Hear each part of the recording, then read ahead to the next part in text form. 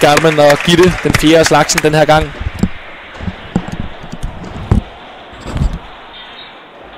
Perfekt lop for Simone Alipiva her. Også perfekt lop af Gitte Haksen. Volleyloppet her for Julia. Simone træder frem. Volleylop. Super bold her igen. Trons baghånd for Simone.